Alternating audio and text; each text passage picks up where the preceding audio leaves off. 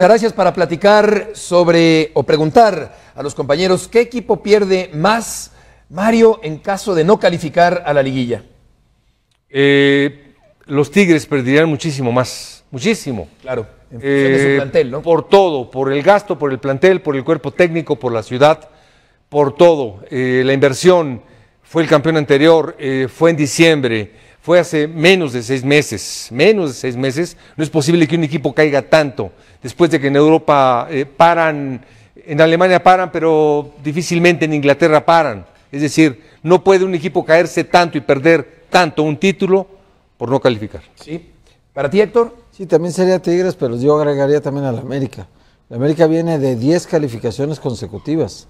Si en el último partido se queda en casa, además, después de haber perdido en casa contra Atlas y haber perdido contra Santos de visita, y luego sumas tu tercera derrota, te deja fuera, cuando el presidente sale de manera abrupta, de manera mm, no, no muy elegante, yo creo que también lo de la América, digo, me, me pesa un poquito por la golpe, ¿no? Que, que sería otro fracaso para él, pero puede pasar que la América quede fuera. Sí, el fracaso es directamente proporcional Sí, sí, a la, La inversión, del la historia, la grandeza, las liguillas consecutivas en el Sí, caso sí. de la América. Ángel, para ti. No, sin duda, sin duda Tigres. Primero porque estaría fuera del eh, segundo torneo en el que compitió, porque no alcanzó el objetivo de ir al Mundial de Clubes, que para eso se diseñó también el equipo. Sería, y ya es un fracaso. Segundo, porque no tuvo todas las desventajas o todos los factores que le impidieron a la América o al Pachuca poder eh, trabajar con continuidad o con un plantel completo.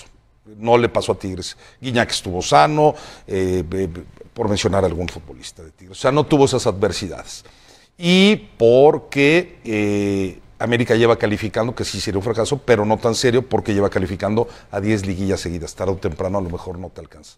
Para mí sería mucho más notorio lo de Tigres. Claro, y la Volpe tiene, ha tenido que ajustar su estilo, dado que ha tenido muchas ausencias a lo largo del torneo. Para ti, Chelis. Tigres, sí, todo, todo Tigres. esto que dicen mis compañeros, yo estoy totalmente de acuerdo, pero lo desgarrador, lo visceral, este, los libros, las comedias, todo eso va a ser si el América no. Sí, claro.